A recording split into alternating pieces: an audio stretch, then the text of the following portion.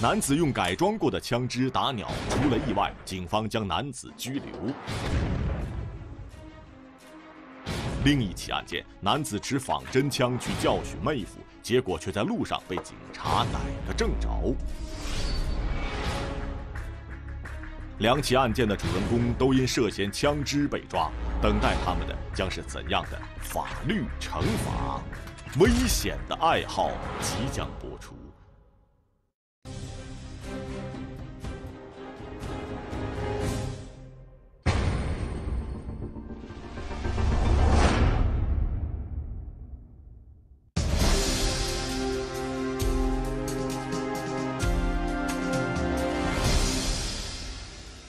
观众朋友，大家好，欢迎收看法律讲堂。今天我们要讲的主人公叫江东海，出生在农村，从事装修工作。最近，江东海交了一个貌美如花的女友，心里像吃了蜜一样甜。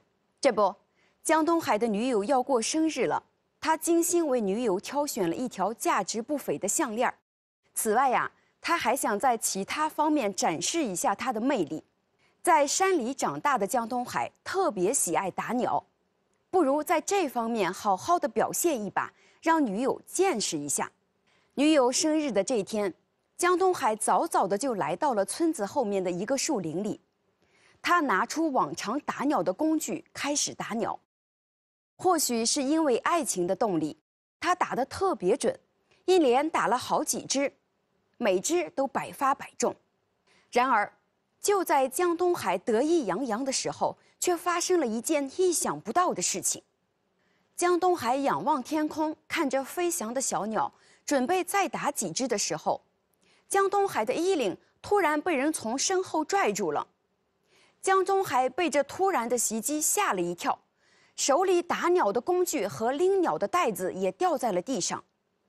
江东海回过头来，定睛一看。拽住他的人居然是同村的杨虎。就在江东海不知所措时，杨虎突然高高的举起了手，这手里呀拎着一只血淋淋的鸟，说让江东海血债血偿。听到这话，江东海心里一颤，杨虎这是怎么了？怎么还血债血偿了呢？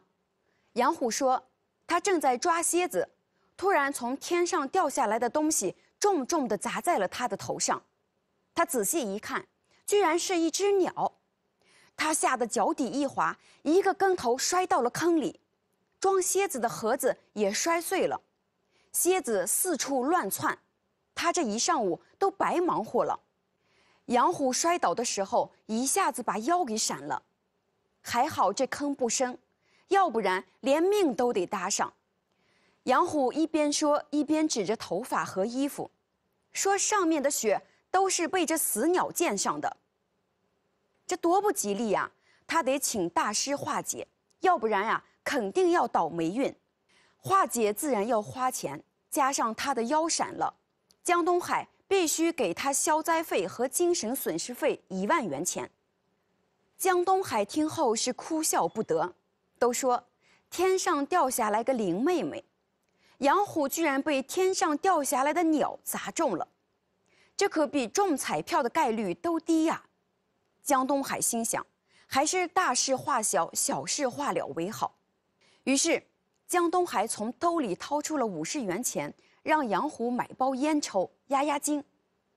然而，这杨虎却不吃这一套，说江东海这是打发叫花子呢，坚持要一万元钱，没得商量。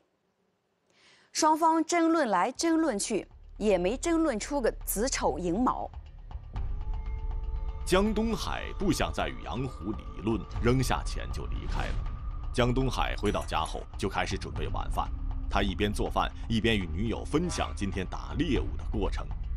然而，就在两人快要吃饭的时候，警察突然找上门来。来者居然是两名身穿制服的警察。一见警察，江东海的心里一愣。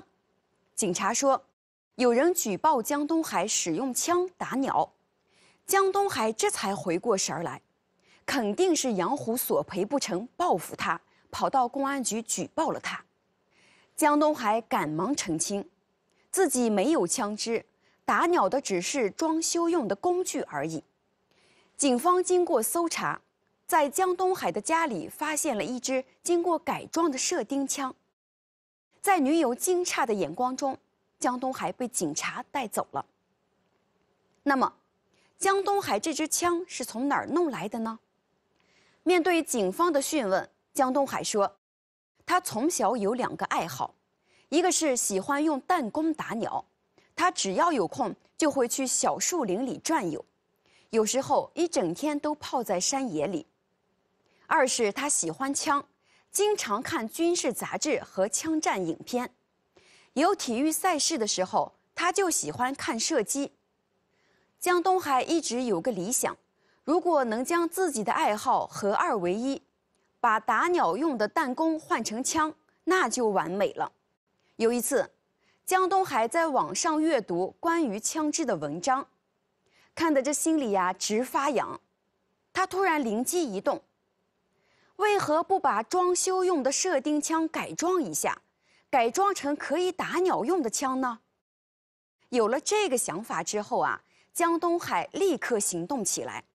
他在网上买了一支钢管和一支射钉枪。将射钉枪改装成了打鸟用的枪，看到这改装之后的宝贝呀，江东还是爱不释手。他迫不及待地去树林里面试了试，结果呀屡试不爽，成功率非常高。这次为了在女友的面前显示一下，结果却马失前蹄，引来了警察。警方根据江东海的供述，以涉嫌非法制造枪支罪，把江东海刑事拘留了。可让人没想到的是，江东海被拘留的同时，他的哥哥何伟也被刑事拘留了。那么，哥哥何伟跟这起案件到底有何瓜葛呢？这一切还要从兄弟俩的关系说起。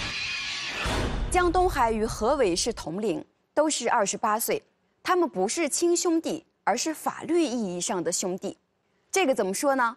在他们十五岁那年，何伟的父亲和江东海的母亲再婚了，生活在同一个屋檐下。二人虽然没有血缘上的关系，却胜似亲兄弟。高中毕业之后，何伟拜师学了电焊，出徒之后租了一个厂房，专门制作铝合金用品。后来，他们兄弟二人呀。都从父母家搬了出来，单独居住。虽然他们不住在一起了，但是只要有空，他们就会坐下来喝上两杯。江东海总是会将捕猎来的鸟烤熟了端上桌做下酒菜。为此呀，何伟享了不少口福。有一天，江东海找到何伟说：“最近他自己改装了一把射钉枪，打鸟的命中率啊非常高。”如果用电焊机将钢管焊接在射钉枪的枪口上，用作枪管那样估计打鸟的命中率会更高。可是江东海不懂电焊技术，也没有焊接的工具，只能求助于何伟了。何伟心想，平时这村子里面谁家的农具坏了，都会找他帮忙。何伟觉得这都是小事儿，有现成的工具，还会这门手艺。出手帮助一下，他又何乐而不为呢？况且帮助江东海焊接工具只是用来打鸟，只要不做违法犯罪的事儿就行。于是呀，何伟就爽快地帮江东海改造了射钉枪。为防止节外生枝，江东海与何伟兄弟俩约定，改造枪支的事一定保密，不让任何人知道。现在警方是怎么知道的呢？另外，何伟想不明白，自己帮助弟弟改造射钉枪，仅仅是为了满足弟弟的爱好，怎么就违法了？经过鉴定，江东海和何伟改装的枪支是以火药燃烧为动力发射弹丸的非制式枪支，具有致伤力。很快，检察院以江东海和何伟。犯非法制造枪支罪，向法院提起了公诉。在法庭上，江东海辩解称，他让何伟改装射钉枪的目的就是单纯的出于个人兴趣爱好。仅仅是为了打鸟而已，主观目的并不是做违法犯罪的事儿，其行为不构成非法制造枪支罪。何伟也只喊冤枉，自己仅仅是利用电焊机帮忙焊接了一下，并没有制造枪支，其行为也不构成非法制造枪支罪。那么，江东海和何伟的行为？到底构不构成非法制造枪支呢？这也就是我们今天要讲的法律点：非法制造枪支罪。我们首先来了解什么是枪支。所谓枪支，是指以火药、压缩气体等为动力，利用管状器具发射子弹、金属弹丸或者其他物质，足以致人伤亡、丧失知觉的各种枪支。包括民用狩猎用枪，如有膛线猎枪、散弹枪、火药枪等。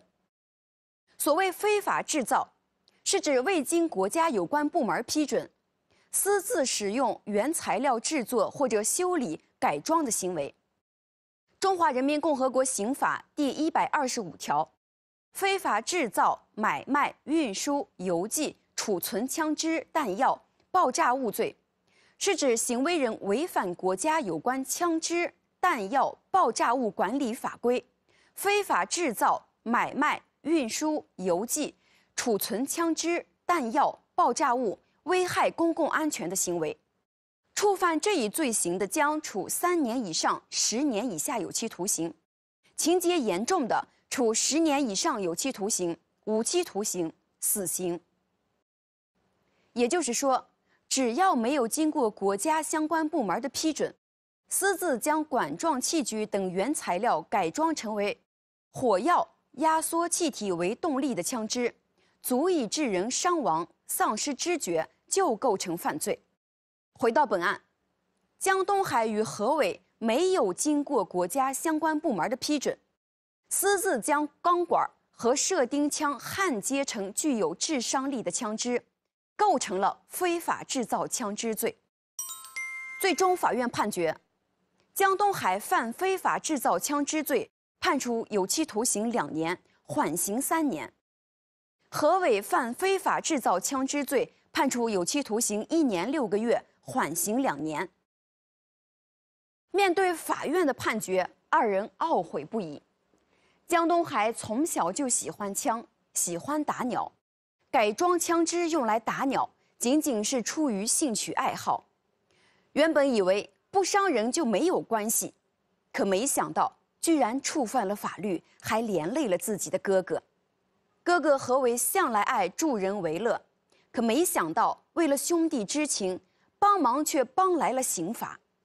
他痛恨自己对法律的无知，表示自己将来啊一定要学法用法。要守住帮忙的底线。一个人拥有兴趣爱好，从而引起对生活的热爱，原本是一件好事。但何伟兄弟二人却因为法律意识淡薄而触犯了刑律，将爱变成了害，两个人都被判处了缓刑。接下来这起案件也是由于热衷于兴趣爱好，还将这个爱好另作他用，最终却被判处了实刑。这是一起怎样的案件呢？请看第二个案例。男子为了帮妹妹解决家庭纠纷，兴冲冲地去找表弟帮忙。男子本想用仿真枪去吓唬妹夫，结果二人在路上先撞到了枪口上。兄弟二人做贼心虚，被警方发现仿真枪，警察将二人抓捕。兄弟二人究竟犯了何罪？危险的爱好，法律讲堂正在播出。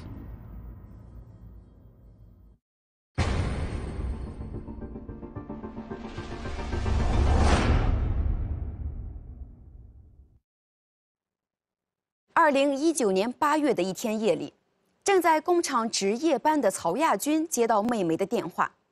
这妹妹一边哭泣一边说：“因为家庭琐事和妹夫起了争执，被妹夫给打了。”这曹亚军一听是气不打一处来，妹妹结婚才半年就被妹夫给打了，这是欺负他娘家没人了吗？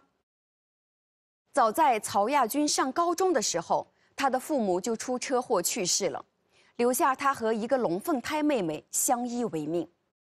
曹亚军一直宠爱着妹妹，从小到大都不让妹妹受半点委屈。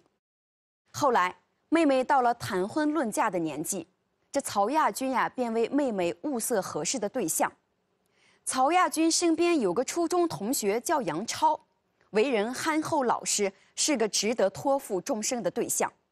于是，他就将妹妹介绍给了杨超。可他没有想到，这妹妹自从嫁过去。这日子呀，过得并不如意。妹妹就经常在他面前告状，说被婆婆欺负。这杨超啊，一味着向着婆婆说话。这次又是因为婆媳关系不和，二人起了冲突。这杨超居然动手打了妹妹。曹亚军实在咽不下这口气，决定给杨超个下马威，帮妹妹在夫家站稳脚跟。可是仔细想想，这杨超人确实不错，工作也稳定，只是脾气急了点儿。妹妹也不能因为一些鸡毛蒜皮的小事儿就和杨超离婚吧？这将来的日子还是要过下去的呀。就算他去了，也只能是劝劝，肯定不能采取暴力的方法。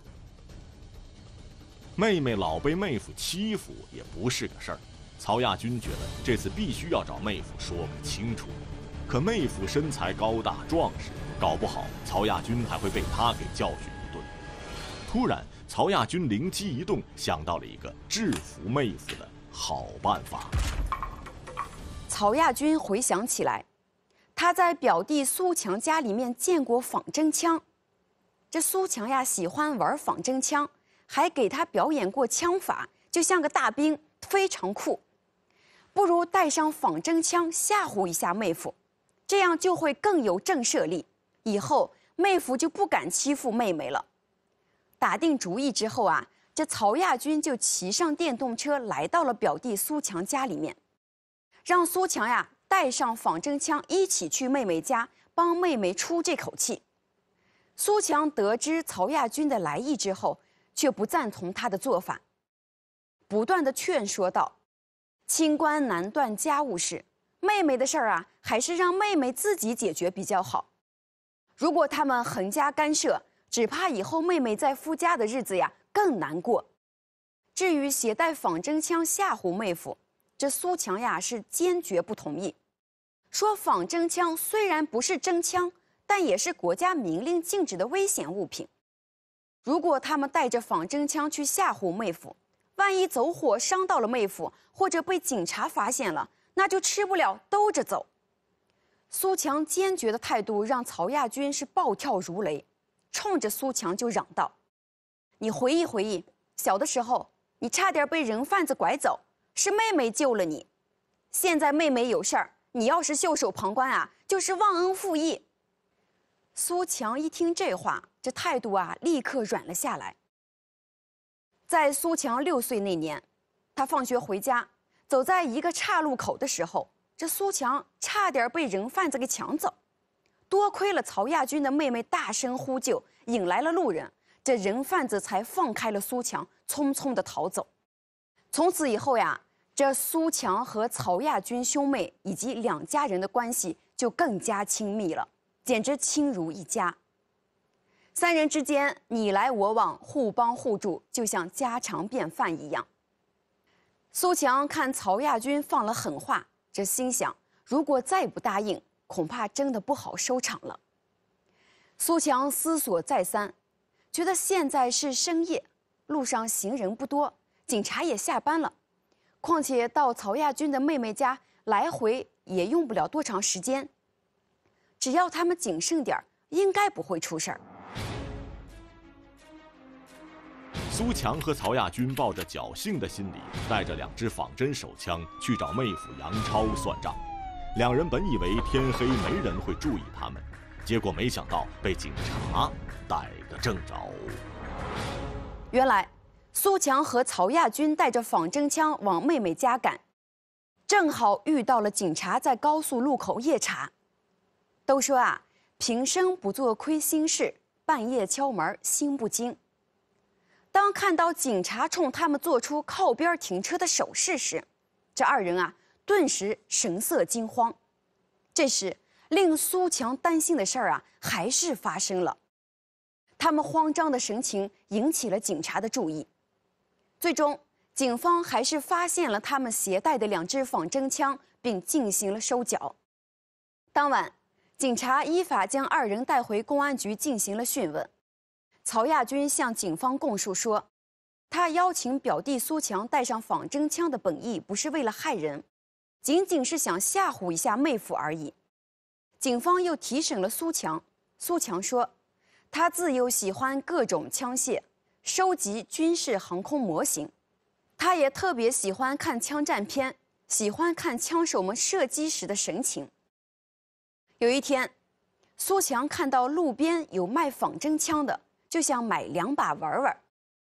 闲来无事时，苏强就在家里摆上几个塑料瓶，瞄准打穿。他只想着放在家里当玩具耍，从来没想过做别的用途。这次之所以拿出来替曹亚军的妹妹出头，仅仅是为了报恩而已。经鉴定，缴获的两支仿制式手枪均属。中华人民共和国枪支管理法所规定的枪支。很快，检察院以曹亚军和苏强犯非法持有枪支罪向法院提起了公诉。在法庭上，公诉人认为，被告人苏强违反枪支管理法的规定，非法持有枪支，其行为已构成非法持有枪支罪。曹亚军与苏强构成共同犯罪。对此，曹亚军的辩护人提出，苏强一直持有枪支，事先已经涉嫌非法持有枪支罪了。曹亚军只是向苏强提议带枪，并没有实际有效控制枪支，二人并非共同犯罪。曹亚军的行为不构成非法持有枪支罪。那么，曹亚军的行为到底构不构成犯罪呢？这也就是我们今天要讲的法律点。非法持有枪支罪的共同犯罪。非法持有枪支罪是指不符合配备、配置枪支的人员，违反枪支管理法的规定，擅自持有枪支的行为。共同犯罪是指二人以上共同故意犯罪。回到本案，曹亚军为帮妹妹解决家庭纠纷而邀约苏强携带枪支帮忙。主观上有非法控制使用枪支的意图，客观上，他又通过苏强实现了对枪支非法持有的状态，二人达成了共同的犯罪故意。曹亚军间接控制了枪支，属于非法持有枪支罪的共同犯罪。法院最终判决，曹亚军犯非法持有枪支罪，判处有期徒刑三年。苏强犯非法持有枪支罪，判处有期徒刑四年六个月。拿到判决书的那一刻，曹亚军流下了悔恨的泪水。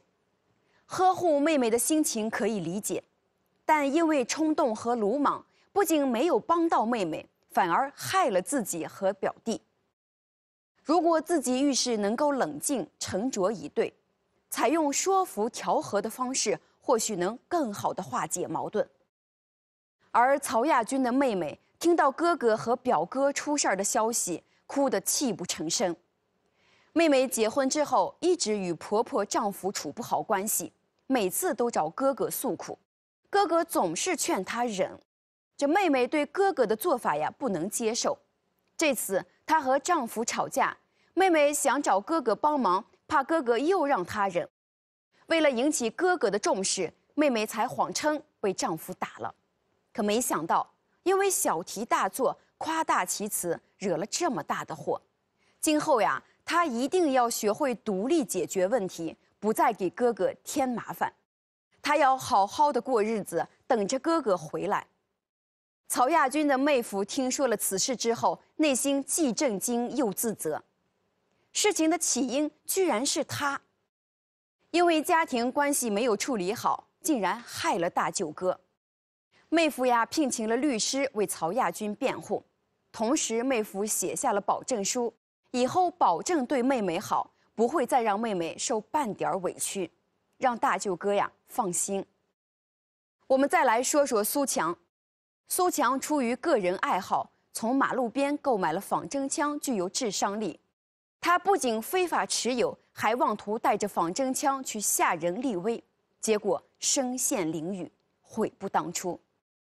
观众朋友，兄弟齐心，其利断金，但在齐心的同时，一定要把握好度，在道德和法律的框架内齐心协力，不能盲目和冲动，否则就会将好事。变成坏事，得不偿失。第一个案例的主人公江东海爱好打鸟，非法改装了枪支。何伟为了兄弟之情，帮忙焊接了装修用的射钉枪，二人最终触犯了法律。第二个案例的主人公苏强为了兄弟情，罔顾法律，非法持有仿真枪，最终害人害己。枪支是国家严格管制的违禁物品。任何单位或者个人都不能违反法律规定制造、私藏、持有枪支。只要有制造、私藏、持有枪支的行为，就有可能受到法律的制裁。好，感谢您收看今天的法律讲堂，再见。朋友儿子结婚缺人手，男子主动提出义务帮忙，却发生意外。另一起案件，男子帮邻居家办丧事，却意外被烟花炸瞎一只眼睛。两起案件都因为义务帮工引发意外，为何判决结果却完全不同？义务帮工起纠纷，下期播出。